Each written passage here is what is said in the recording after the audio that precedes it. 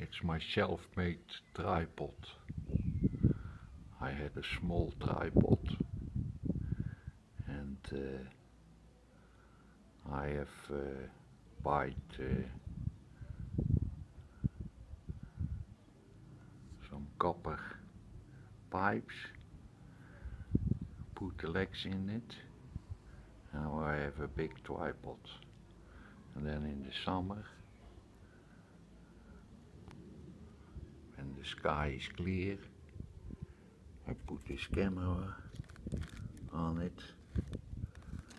Here's a